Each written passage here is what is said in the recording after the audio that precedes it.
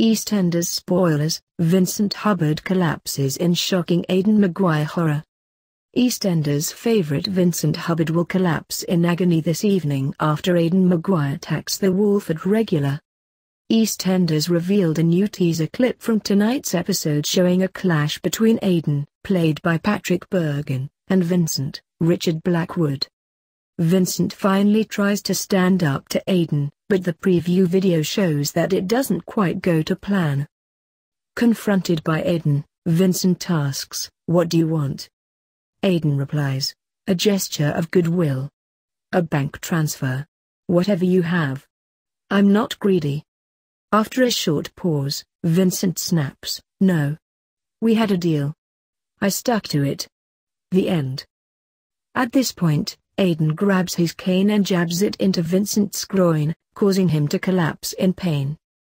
The episode will also see Vincent finally confess his deeply upsetting financial woes to his wife Kim Fox, Tameka Empson, who will be left reeling from the revelation.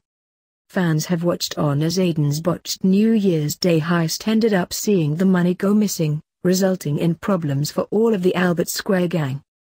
Aidan forced Vincent to sell him his bar, after a tense scene saw the Aidan try to kill the married man for reporting his brother to the police years ago.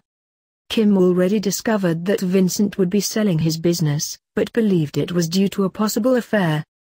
Undeterred, Kim focused on building her own life by frivolously spending money on recreational items and outings.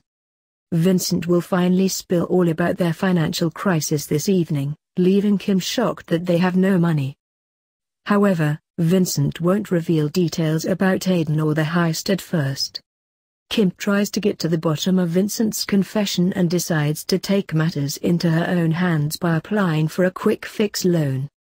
Patrick Trueman, Rudolph Walker, will try to console a concerned Kim, telling her to cut Vincent some slack. As Kim finally reaches the end of her tether with Vincent's lies, he decides to open up to her once and for all prompting Kim to suggest selling her engagement ring. Frustrated when Vincent refuses to take the money, Kim will end up giving him an ultimatum.